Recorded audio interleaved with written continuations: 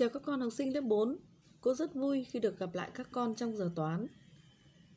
Các con xem video bài giảng, nếu thấy cô giảng dễ hiểu, bấm nút thích, chia sẻ cho các bạn cùng xem. Nếu bạn nào chưa đăng ký, nhớ đăng ký để xem các video tiếp theo nhé. Giờ toán hôm nay, chúng ta học bài luyện tập trung, trang 177. Bài 1. A. Đọc các số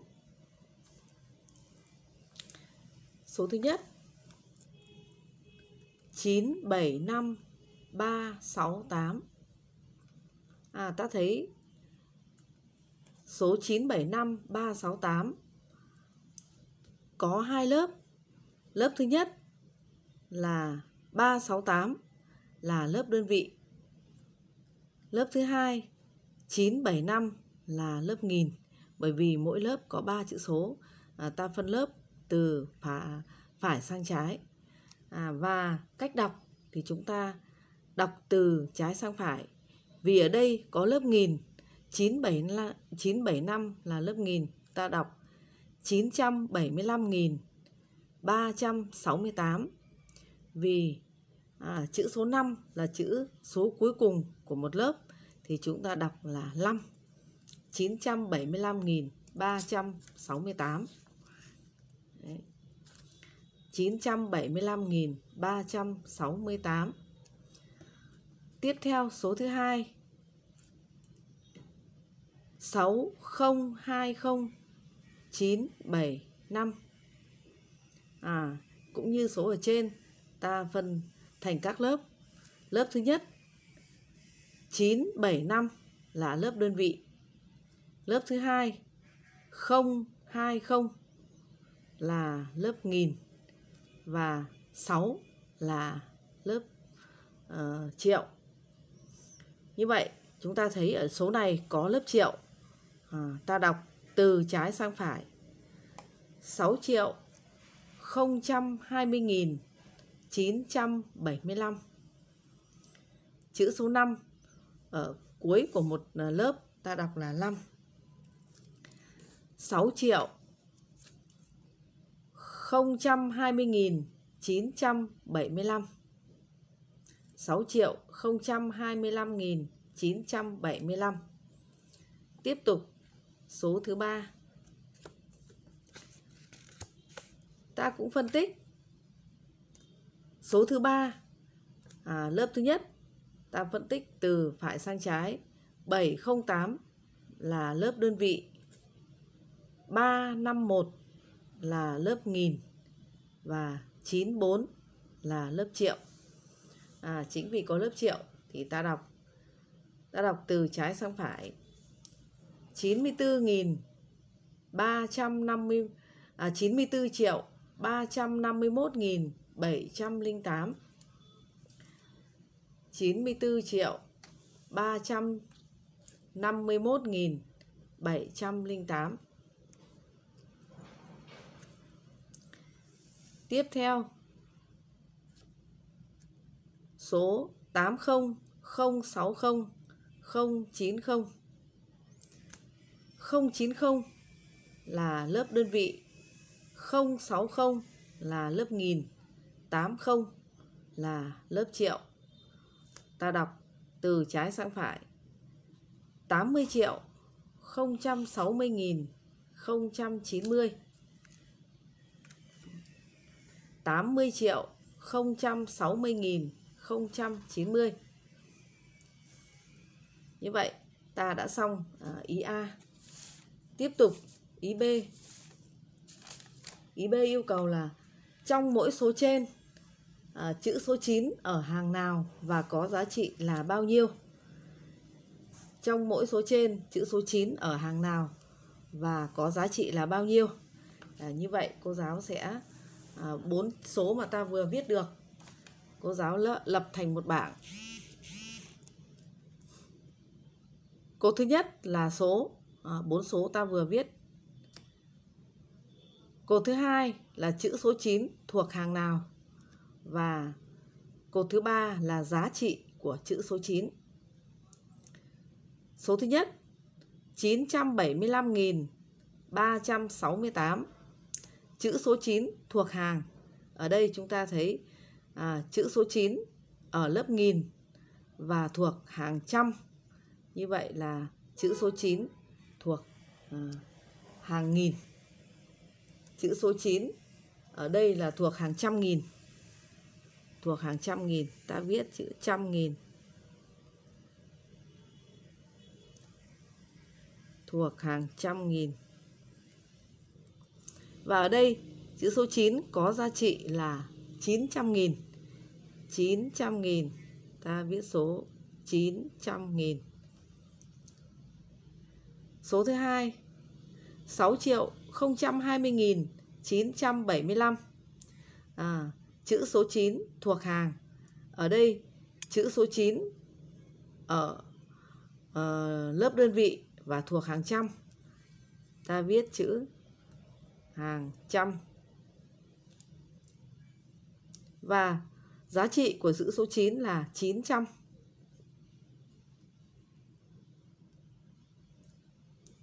Tiếp theo, số thứ 3, 94 triệu 351 nghìn 708 Ở đây, chữ số 9 ở lớp triệu và à, thuộc hàng 90 triệu, hàng chục triệu. Ta ghi là chục triệu. Hàng chục triệu. Và giá trị của chữ số 9 là 90 triệu.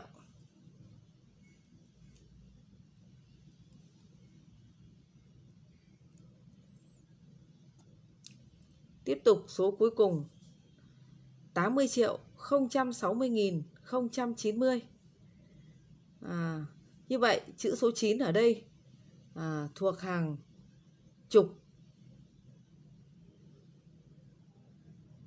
Thuộc hàng chục. Ở đây à, chữ số 9 giá trị của chữ số 9 là 90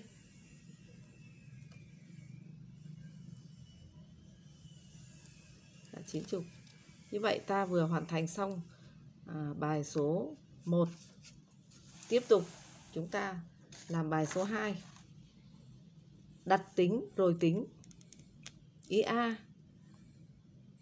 24.579 cộng 43.867 à, bài yêu cầu chúng ta có hai yêu cầu. Yêu cầu thứ nhất là đặt tính Và yêu cầu thứ hai là tính. À, Chúng ta sẽ đặt tính. Ta viết số hạng thứ nhất. 24.579 cộng 43.867 43.867. các con lưu ý chúng ta à, biết ở đây hai số hạng này đều là có 5 chữ số thì chúng ta lưu ý chúng ta viết à, các hàng phải thẳng cột với nhau đây 43.867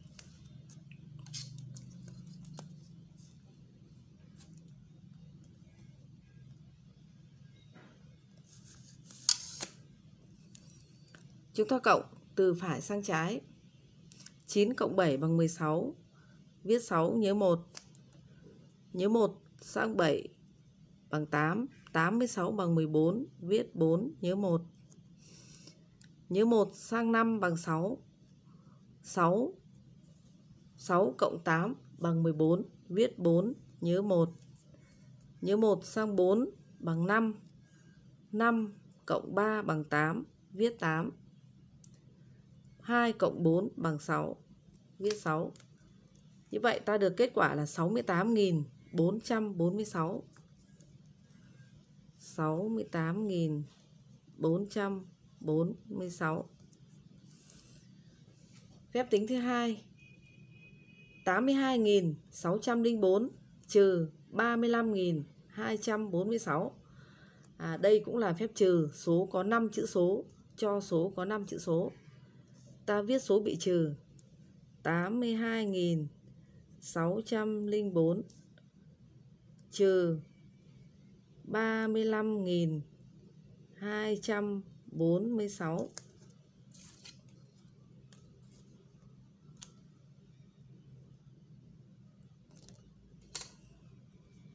Xong bước đặt tính, chúng ta cũng trừ từ phải sang trái. 4 không trừ được 6, ta mượn 10 thành 14. 14 trừ 6 bằng 8. Viết 8. Trả 1 sang 4 bằng 5. 10 trừ 5 bằng 5. Viết 5. Trả 1 sang 2 bằng 3. 6 trừ 3 bằng 3. Viết 3. 2 không trừ được 5. Mượn 1 bằng 12. 12 trừ 5 bằng 7. Viết 7. Nhớ 1 sang 3 bằng 4, 8 trừ 4 bằng 4. Như vậy ta được kết quả bằng 47.358. 47.358. Xong ý tiếp tục chúng ta sang ý B. B 235 nhân 325 đây là phép nhân à, số có 3 chữ số với số có 3 chữ số. Ta đặt thừa số thứ nhất 235 nhân 325.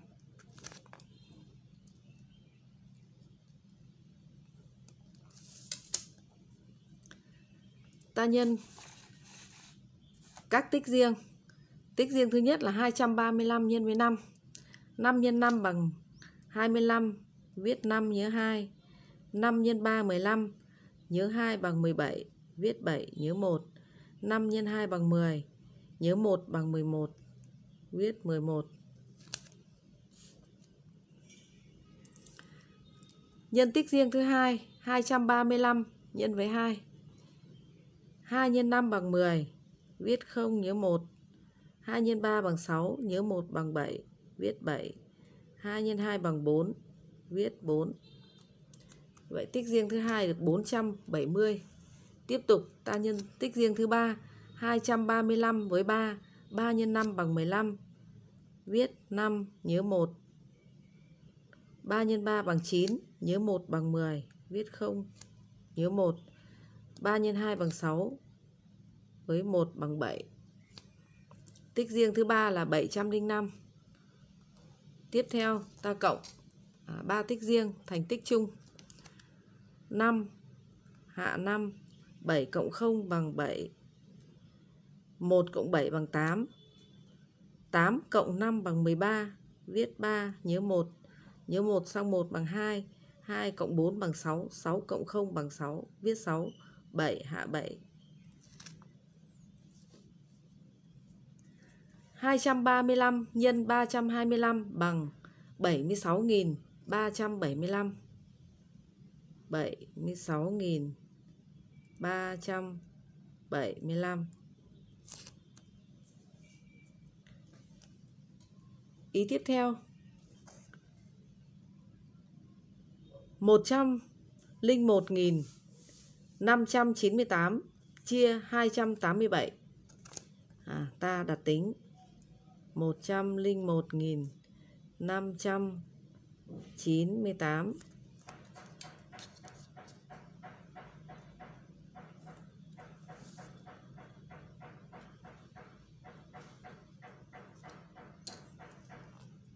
chia cho 287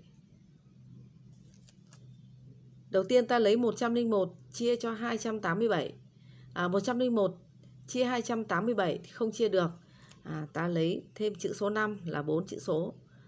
Ta được 1015 chia cho 287 1015 chia cho 287 à, cô giáo ước lượng được khoảng 3 lần. 3 x 7 bằng 21 21 viết 1 nhớ 2 21 viết 1 nhớ 2.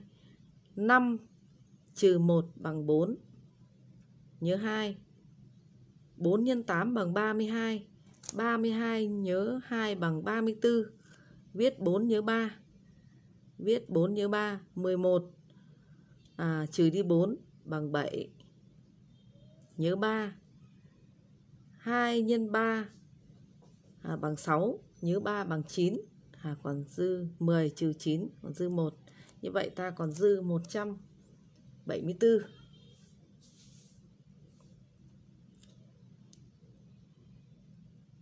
3 nhân 7 bằng 21 3 nhân 7 bằng 21 viết 1 nhớ 2 5 5 5 trừ 1 bằng 4 nhớ 2 3 nhân 8 24 nhớ 2 à, 3 x 8 24 nhớ 2 bằng 26 26 11 trừ 6 còn 5 chỗ này còn 5 5 1 2 nhân 6 như 1 bằng 7 như vậy còn 154 tiếp tục ta hạ 9 bằng 1549 chia cho 287 cô giáo ước lượng được khoảng 5 lần. 5 x 7 bằng 35 35 viết 5 nhớ 3 à, 9 trừ 5 còn 4 nhớ 3 5 x 8 bằng 40 với 3 bằng 43 43 viết 3 nhớ 4 4 trừ 3 bằng 1 nhớ 3 5 x 2 bằng 10 à, nhớ 3 bằng 13 như vậy chúng ta còn còn dư 1 114 ta hạ tiếp số 8 bằng 1148 1148 chia 287 47 4728 có ước lượng đồng 4 4728 viết 8 như 2 8 trừ 8 hết. Như 2 4832 như 2 bằng 34 34 viết 4 nhớ 3 4 trừ 4 hết. 2 4 là 8 nhớ 3 bằng 11 11 trừ 11 hết. Như vậy 101.598 chia 287 bằng 354 Vậy chúng ta vừa hoàn xong hoàn thành bài số 2 Tiếp tục bài số 3 Bài 3 Yêu cầu chúng ta điền dấu lớn, dấu bé, dấu bằng à, vào chỗ trống. Cô giáo có 4 phân số. Phân số thứ nhất 5 phần 7 chấm chấm 7 phần 9 tức là ta sẽ so sánh. Ở đây hai phân số đều có tử số bé hơn mẫu số. À, cho nên là chúng ta không thể so sánh được với một. Chỉ có cách là chúng ta sẽ quy đồng. Quy đồng hai phân số. 5 phần 7 5 phần 7 ta lấy 5 phần 7 à nhân với 9 5 nhân 9 bằng 45 phần 7 nhân 9 bằng 63 phân số 7 phần 9 bằng 7 nhân 7 bằng 49 9 x 7 bằng 63 như vậy 5 phần 7 ta quy đồng thành 45 phần 63 7 phần 9 quy đồng thành 49 phần 63 à, Như vậy ta sẽ điền dấu bé. Vì 45 bé hơn 49 Mà 45 chính là 5 phần 7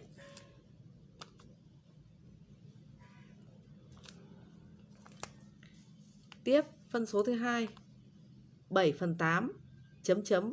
5 phần 6 À hai phân số này cũng là hai phân số có tử số, bé hơn mẫu số. Mà hai phân số này cũng tối giản, ta không không cần rút gọn, không rút gọn được nữa. Nên ta cũng quy đồng mẫu số hai phân số. 7 phần 8 bằng 7 nhân 6 7 nhân 6 bằng 42 8 nhân 6 bằng 48 Phân số 5 phần 6 quy đồng thành 5 x 8 bằng 40 phần 6 x 8 bằng 48. Vì 42 phần 48 lớn hơn 40 phần 48 cho nên phân số 7 phần 8 lớn hơn 5 phần 6. Tiếp theo, phân số thứ 3 10 phần 15 chấm chấm 16 phần 24. À ta nhận thấy à, hai phân số này là hai phân số chưa tối giản ta thử rút gọn sau đó là chúng ta sẽ so sánh 10 phần 15 ta rút gọn bằng cách lấy cả tử số và mẫu số chia cho 5 10 chia 5 được 2 15 chia 5 được 3.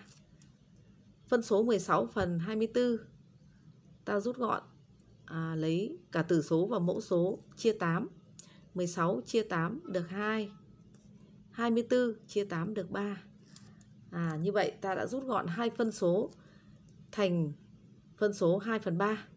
À, hai phân số đều rút gọn thành 2 phần 3. Như vậy à, hai phân số này bằng nhau. Ta điền dấu bằng. Tiếp theo, hai phân số cuối cùng 19 phần 43 chấm chấm 19 phần 34. À, muốn so sánh hai phân số có cùng tử số. Phân số nào có mẫu số lớn hơn thì phân số đó bé hơn. Phân số nào có mẫu số bé hơn thì phân số đó lớn hơn. À, vậy à, hai phân số có cùng tử số là 19. Vì 43 à, lớn hơn 34 nên phân số 19 phần 43 bé hơn phân số 19 phần 34. Ta điền dấu bé.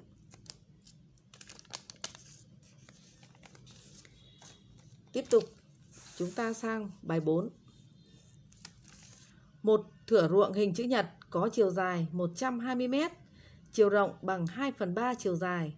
Người ta cấy lúa ở đó, tính ra cứ 100 m vuông thu hoạch được 50 kg thóc hỏi cả hỏi đã thu hoạch được ở thửa ruộng đó bao nhiêu tạ thóc. À, bài cho biết thửa ruộng hình chữ nhật có chiều dài 120 m, chiều rộng bằng 2 phần 3 chiều dài. À, người ta cấy lúa ở đám ruộng đó cứ à, 100 mét vuông thì thu hoạch được à, 50 kg thóc. Hỏi cả cái thửa ruộng đó thì thu hoạch được à, bao nhiêu kg thóc thửa ruộng có chiều dài chiều dài 120 mét và chiều rộng bằng 2 phần 3 chiều dài.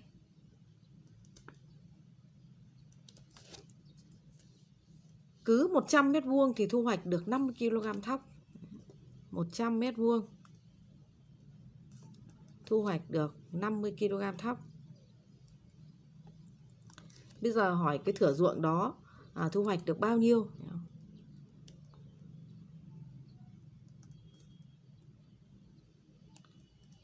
À, thu hoạch được gì? À, bao nhiêu kg thóc? Muốn biết thửa ruộng à, thu hoạch được bao nhiêu kg thóc thì ta phải biết à, diện tích của thửa ruộng đó là bao nhiêu. À, muốn biết diện, tính được diện tích của cái thửa ruộng hình chữ nhật đó không? thì ta phải biết chiều dài và chiều rộng. Ở đây chiều dài là 120 m mà chiều rộng à, bằng 2 phần 3 chiều dài, tức là chiều rộng chưa biết. À, bây giờ ta phải tính được chiều rộng của thửa ruộng. Không? Chiều rộng thửa ruộng ta biết là 2 phần 3 của chiều dài, tức là 2 phần 3 của 120. Thì ta sẽ lấy 120 nhân với 2 phần 3. 120 nhân với 2 phần 3. Ta lấy 120 à, chia cho 3 bằng 40. 40 nhân với 2 bằng 80. Như vậy à, là chiều rộng của thửa ruộng là 80 m. Sau khi tính được chiều rộng rồi thì ta tính diện tích. Thửa ruộng ta lấy 120 nhân với 80 à, thì cô giáo tính ra là 9.600 mét vuông. À, biết diện tích của thửa ruộng là 9.600 m2. Bây giờ à, xem thửa ruộng đó thu hoạch được bao nhiêu tạ thóc. Vì cứ 100 m2 thì thu hoạch được 50 kg thóc. À, bây giờ thì ta phải à, thử xem phải so sánh xem là 9.600 m2 so với 100 m2 thì gấp bao nhiêu lần à, tức là ta sẽ lấy 9.600 ta chia cho 100 thì ra 1 mét vuông thu hoạch được bao nhiêu kg thóc sau đó ta nhân với 50 à, tức là ta lấy 50 nhân với mở ngoặc 9.600 chia cho 100 9.600 chia cho 100 bằng 96 96 nhân với 50 cô giáo tính ra là 4.800 kg thóc. Ở đây bài yêu cầu chúng ta tính ra là thửa ruộng thu hoạch được bao nhiêu tạ thóc. Như vậy ta phải đổi à, 4.800 kg. 4.800 kg. À, cô giáo đổi ra bằng 48 tạ. 48 tạ.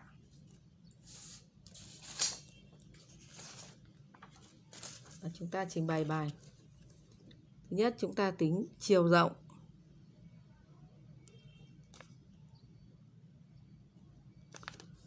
Của thửa ruộng, hình chữ nhật là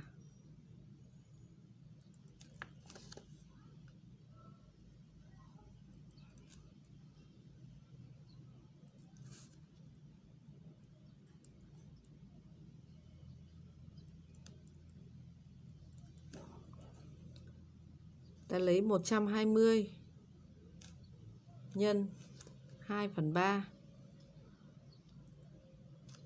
bằng 80 mét. Diện tích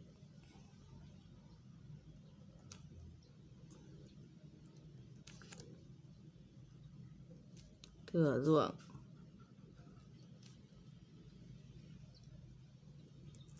hình chữ nhật là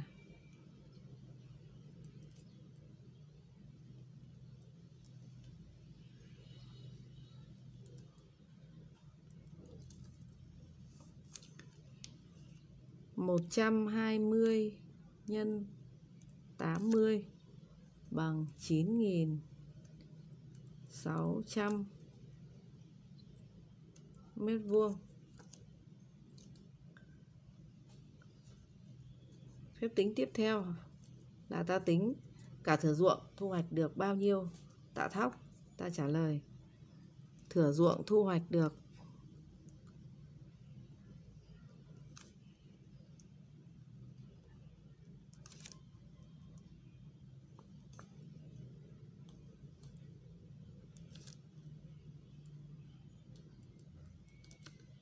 số tạ thóc là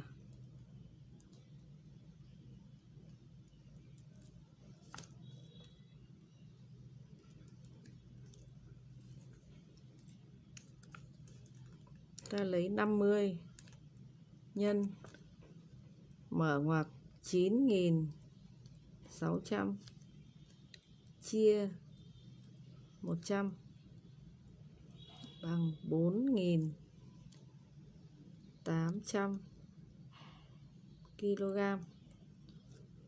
Bước tiếp theo ta đổi 4.800 kg bằng. 48 tạ. 4.800 kg bằng 48 tạ. Vì ta lấy 4.800 ta chia cho 100 vì một tạ thóc bằng 100 kg thì ta chia được 48 tạ. Đáp số 48 tạ.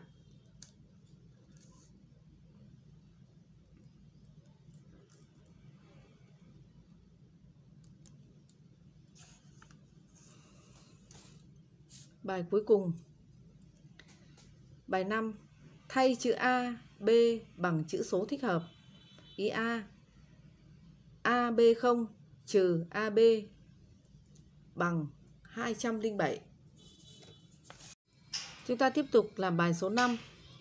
Thay chữ A, B bằng chữ số thích hợp. À, như vậy ở đây bài yêu cầu à, chúng ta thay à, các chữ AB bằng chữ số thích hợp vào phép trừ và phép cộng. Ý A AB0 trừ AB bằng 207. Đây là phép trừ số có 3 chữ số cho số có 2 chữ số. À, được số có 3 chữ số. Ta sẽ thực hiện trừ từ phải sang trái. À, nếu 0 0 trừ B bằng 7 Bây giờ cô giáo giả sử B bằng 0 nếu B bằng 0 Nếu B bằng 0 à, thì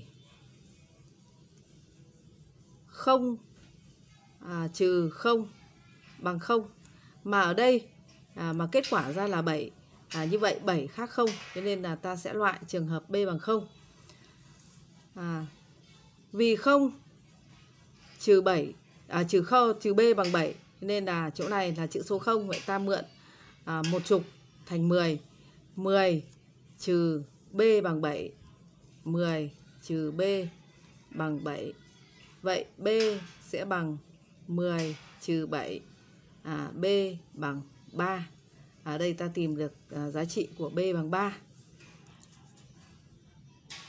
Ta thay. Ở đây B giá trị bằng 3 và số bị trừ chỗ này là 0 và kết quả ở đây là đây là chữ 7 số 7 Đấy, 0 10 trừ 3 bằng 7 sẽ nhớ 1 à, sang hàng chục ở đây. Như vậy vì B ở đây B bằng 3 thì B ở hàng chục của số bị trừ cũng bằng 3 mà chữ số A này à, đã có một. À, nhớ một sang đây. A ở đây đó tức là A cộng 1 mà 3 trừ đi mấy để bằng 0 bằng 0 ở đây. Vậy thì à, A ở đây có một rồi vậy thì A sẽ phải bằng 2 vì 2 nhớ 1 bằng 3 3 trừ 3 bằng 0 vậy giá trị của A bằng 2 giá trị của A ở đây bằng 2 thì giá trị của A hàng trăm của số bị trừ cũng bằng 2 à, 2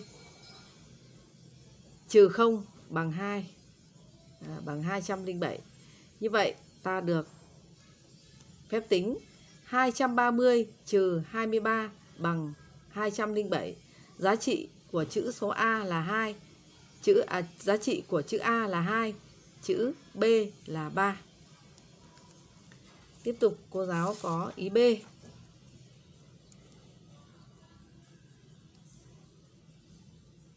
A B0 cộng AB bằng 748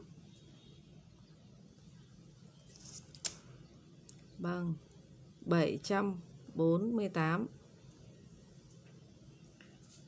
748 đây là số có 3 chữ số cộng với số có 2 chữ số được kết quả là 748. 748. Ở đây chúng ta thấy là chúng ta cũng cộng từ phải sang trái. Thì đây là đặc tính, cộng từ phải sang trái. Ta thấy 0 cộng B bằng 8. 0 cộng B bằng 8. 0 cộng B bằng 8. Vậy B sẽ bằng 8 trừ 0 à, B bằng 8 ta tìm được giá trị của à, B bằng 8 giá trị à, của B bằng 8 vì 0 cộng B bằng 8 ta thay. Đây là 0 và giá trị của B bằng 8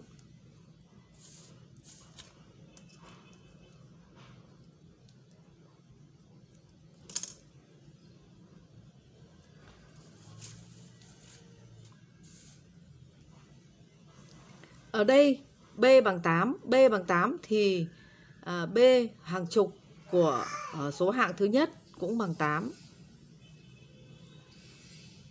Mà kết quả của hàng chục 8 cộng A bằng 4. Vậy 8 cộng với mấy để bằng 4? Vì 8 lớn hơn 4, à, tức là 8 sẽ cộng với số nào để bằng 14? Bằng 14 Vậy 8 sẽ cộng 6 bằng 14. Như vậy, giá trị của A bằng 6. 8 cộng 6 bằng 14. Viết 4, nhớ 1. Nhớ 1 sang đây. Ở đây A ở đây bằng 6.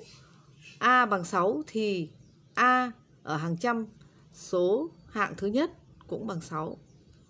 Đấy, 8 cộng 6 bằng 14, viết 4 nhớ 1, nhớ 1 sang 6 bằng 7. À, bằng 7 148 giống như kết quả của bài đã cho. Như vậy ở ý B ta tìm được giá trị của chữ B là 8, giá trị của chữ A bằng 6. Ta được phép tính 680 cộng 68 bằng 748. Như vậy, à, vừa rồi chúng ta đã à, làm xong tiết luyện tập trung. Giờ học của chúng ta đến đây là hết rồi. Cô chào các con.